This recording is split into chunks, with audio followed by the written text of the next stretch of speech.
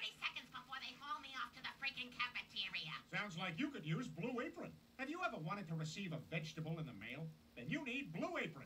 I'm like obsessed with the stir fry. Brian here likes the Moroccan beef. I, I have no opinion on the Moroccan beef, Peter. Brian, this is not art. This is commerce.